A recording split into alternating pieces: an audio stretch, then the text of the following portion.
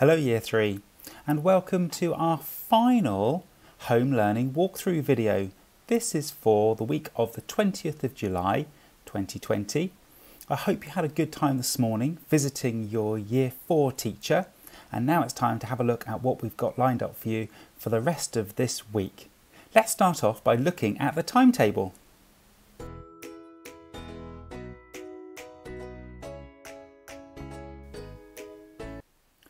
The timetable for this week, and as you can see, it's rather short.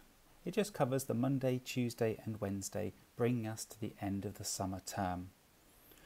As always, this is an optional timings on your week's work, and you can work out with your family what would work best with you. For the Monday, we've given you reading and writing, but we've given you a little bit less because hopefully you've already been in and spent some time in school meeting your Year 4 teacher and we've also given you a little DT activity to do there. Uh, on Tuesday, you got your reading, writing, and some maths and spelling, and music and science activities to try. And on Wednesday, as well as your reading, writing, and maths and spelling, we've given you some art and uh, a, a games activity based on the Olympics that has had to be postponed. In addition to that, the reading can continue over the summer holiday. So let's have a look at the reading in a bit more detail.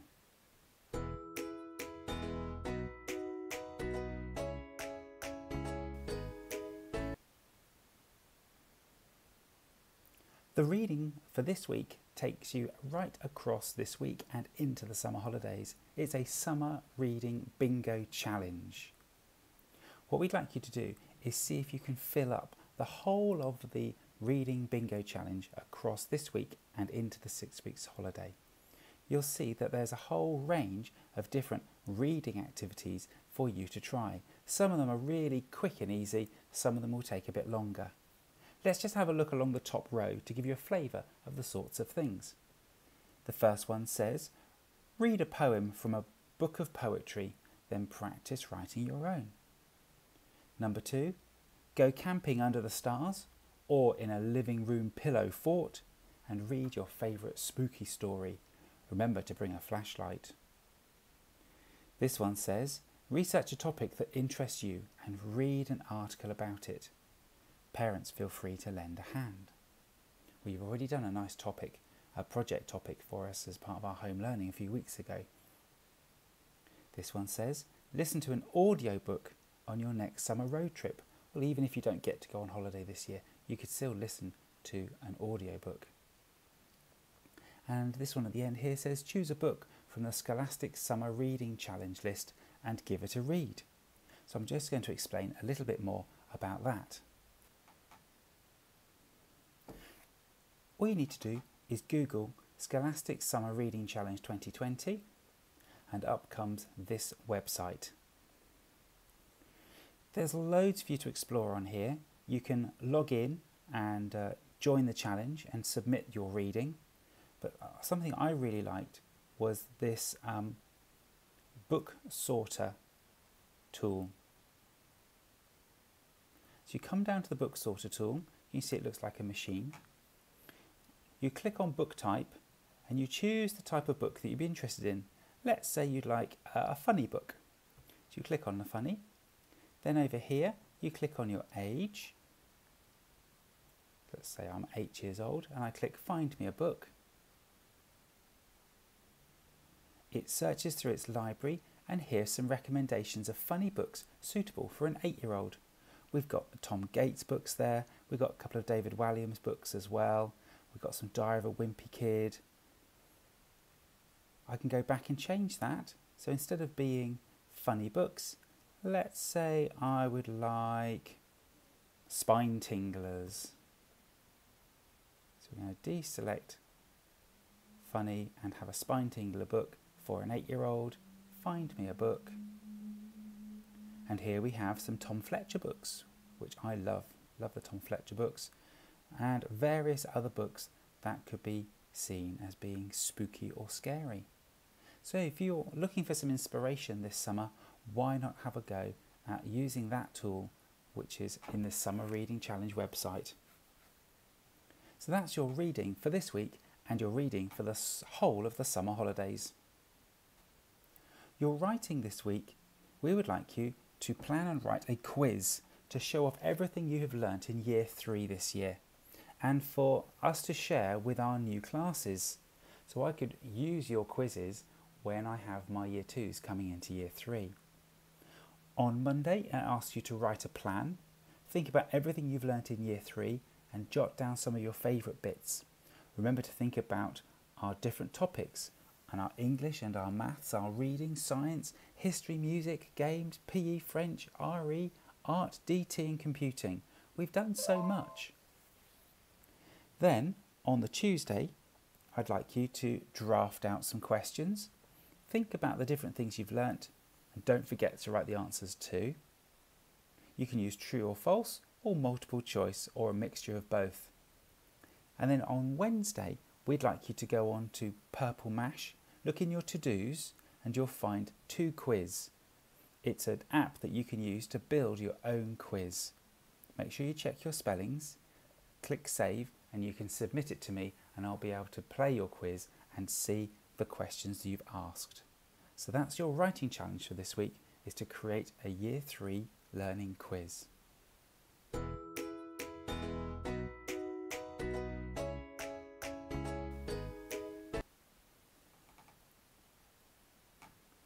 Your maths this week has two challenges. One's called At the Beach Cafe and one's called Summertime Colour by Calculations. Let's have a look at them now. Here's At the Beach Cafe. Use the menu to work out how much each customer has spent. So there are the prices. And then you have a look at the table. Table 1 has had a cola and ice cream. So you find out the price of a cola, the price of an ice cream and you find the total bill and work those out for each of the tables.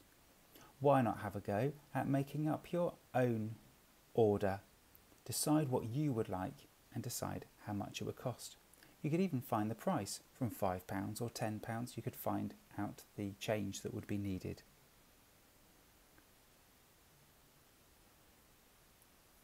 Your second maths activity for Wednesday is a summertime colour by calculations. We've done things like this before. So you need to use the colour key to reveal the picture. I think you can pretty much see what the picture is going to be like. So here are your colours depending on the answer. So for this box here, we've got uh, 10 times 2. 10 times 2 is 20, so therefore it's in this range here. So I'd colour this block in yellow. So have fun with your summer maths challenges this week.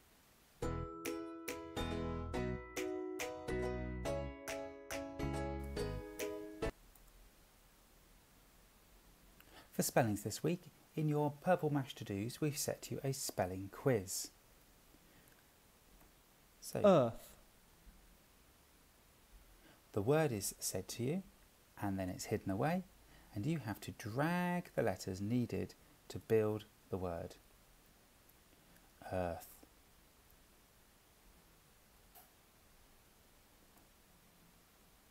When I'm happy with the spelling, I tap done. And Answer. Here's the next word. Answer. Let me show you what happens if I make a spelling mistake.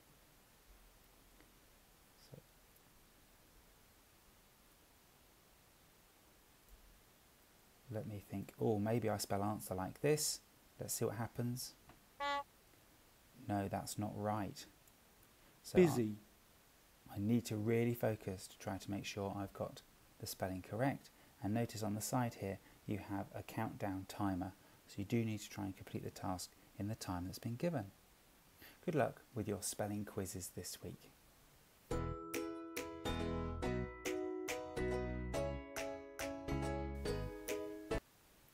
DT this week, we've given you a recipe for some flatbread. So you go to the BBC website using BBC Bitesize, make your own pizza, like the idea of that. You've got some videos to watch that show you how to make the flatbread and how to make dough. And then you've got various activities that show you the stages needed make the pizza dough, make your sauce, top your pizza. So have fun making your pizzas and I would love to see some pictures of any pizzas that you make.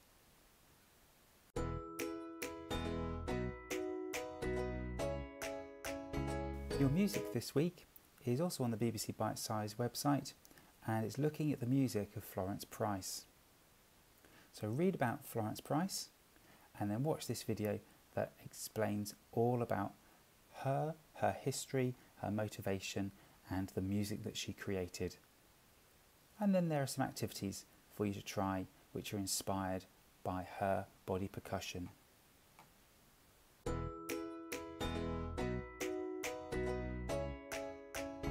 Sticking on the theme of summertime, we would like you to make a paper plate sundial in science. Follow the instructions.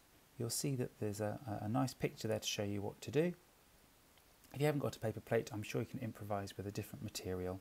Um, this one will take you a while to do because you've got to find a sunny day to do it on and you've got to come back to it several times during the day so you can mark on all the different times. So enjoy making your paper plate sundial in science.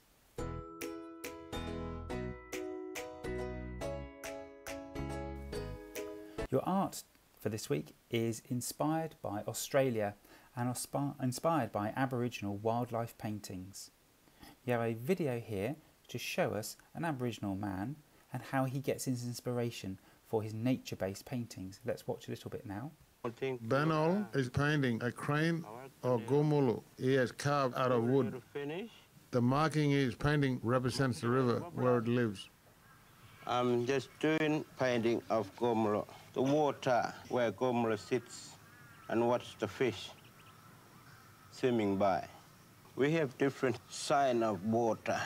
Here is a fresh water and also salt water. The one I'm just painting is a white clay that we usually get it from under the ground. And the ochres, the black, the red, the yellow, we find them on rocks. So they're using the natural materials around them in their landscape to create their own artwork.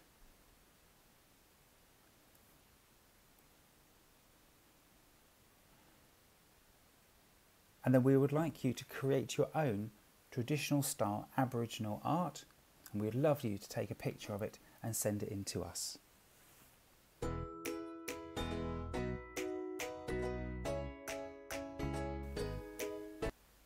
Your final challenge is linked to games and PE and it's linked to the disappointing fact that we weren't able to have our Olympics this summer and it's been postponed to next year. But nevertheless, there's plenty of activities and resources out there to keep you busy across the summer. So you can go to this website, and if you go down to the bottom, you will find a parent's guide, Tokyo 10 activity guides, and a score sheet which is linked to those activities. Let's have a look at them now. Here are your Tokyo 10. So they're little activities to get you up and about and moving around. So it shows you a picture of the task and then it gives you the instructions on how to play and some variations and challenges you can set for yourself. There's a whole range of different activities that you can try here. Some of them are indoors, some of them are outdoors, some of them are both. And they provide you with some score sheets that go with each of those tasks. So you can record your progress and see how you and your family are getting on. So enjoy your Games inspired by the Tokyo Olympics, which has been postponed but will be happening next year, hopefully.